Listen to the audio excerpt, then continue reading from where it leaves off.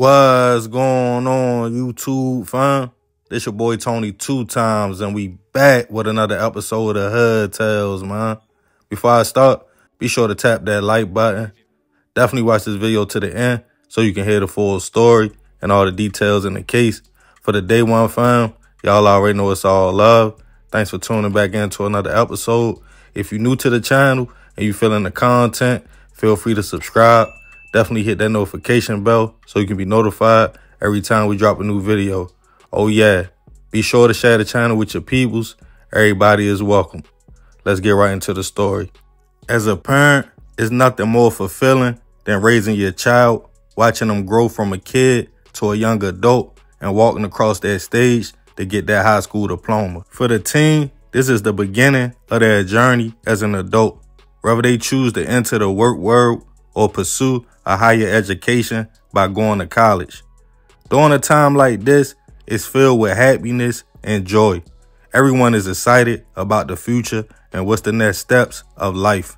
I know personally, for young men, the pressures of even staying focused, going to school to even reach this point to receive a diploma.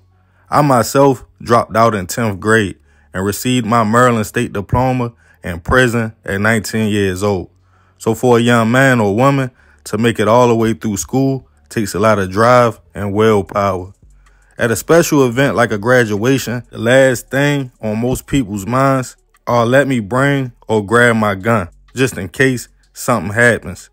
As it's mostly families, supporters, and a lot of love going around on these days. But now, in the climate we live in, you just never know when or where an incident will occur. With kids 13 and 14 years old walking around with 30 shots before they even realize the consequences behind having a gun, let alone shooting one. In a perfect world, you go watch your loved one receive that diploma, love on them, and congratulate them, and be done with the situation. But we never expect our peoples to walk across that stage and minutes later, while still in a gown, lose their life. And on this episode of Hood Tales, we'll be taking it to Richmond, Virginia to discuss a case of an ongoing dispute between teens that left a young man and his stepfather gone after a high school graduation.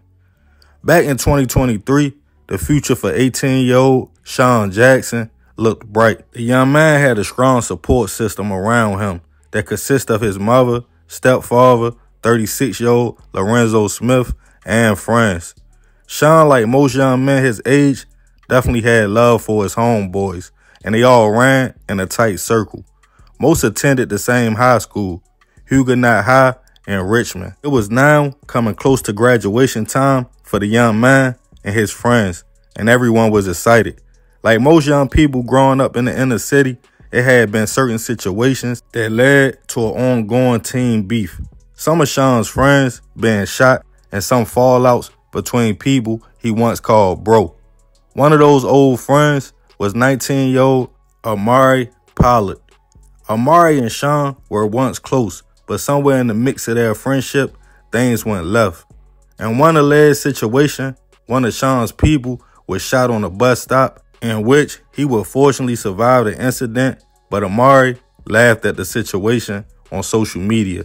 This caused a back and forth between the two young men, with Sean telling Amari, you want to play, but you know how I get, and you better not get caught loafing or without your gun. The back and forth would go on for almost a year, but on June 6, 2023, this was supposed to be a happy day for everyone. Huguenot High School's graduation, in which Sean would be walking across that stage, and also a few of his friends. His family, mother, and stepfather Lorenzo were all excited for the young man, and they all headed to the location.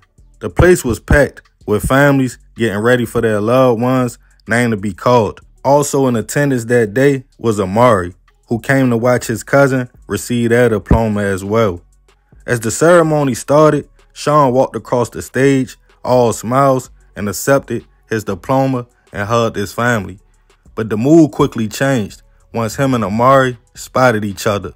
A lot of teens had walked across the street from the theater where the graduation was taking place at to Monroe Park. While everyone was celebrating, Amari thought he would be safer if he went to the car and got his gun. Allegedly at the same time, Sean's stepfather Renzo, sensing attention, walked to his car as well and retrieved two guns. Also, a few of Sean's friends went to get their blitz too. The group all met up in the park. Some kind of altercation between Sean's people and Amari happened. After a few words were exchanged, multiple shots went off from different guns. The crowd panicked as people ran and struggled to get their loved ones to safety. Amari took off running to a parking deck, gun in hand. Being identified as one of the suspects, police quickly entered the deck. Scared and shaken up, the young man claimed, I was terrified, scared for my life. They all had guns and said they were about to smash me, so I shot.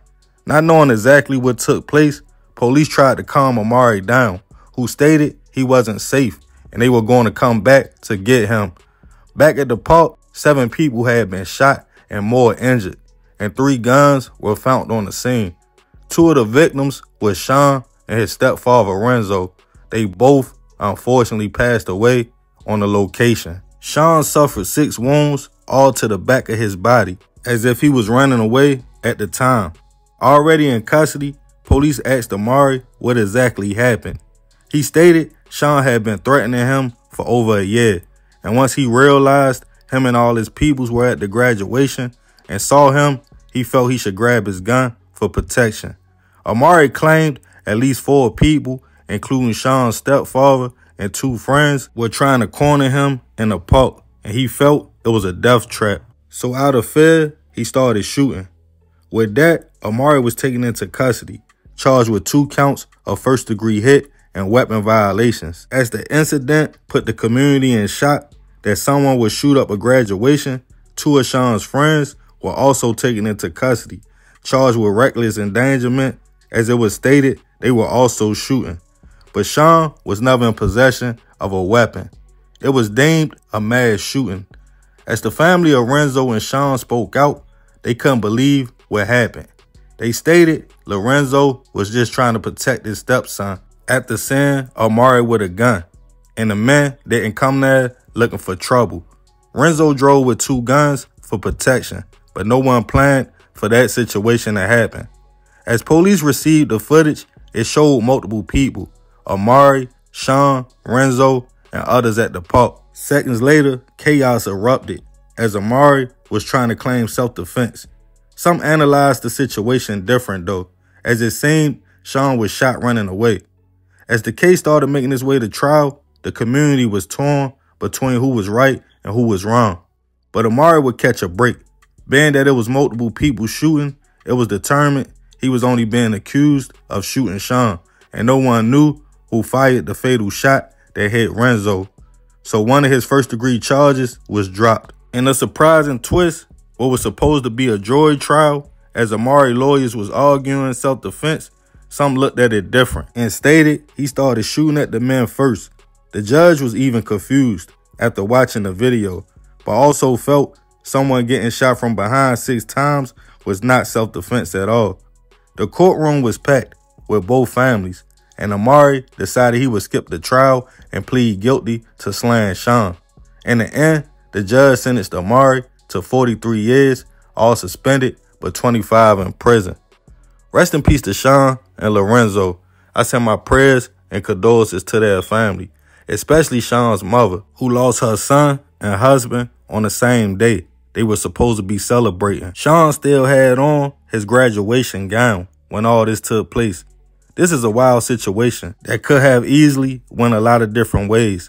With that many guns and ego, seven people were shot. Fortunately, the others survived.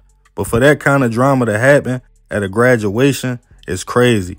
I watched the video too, and honestly, I can't say who was right and wrong.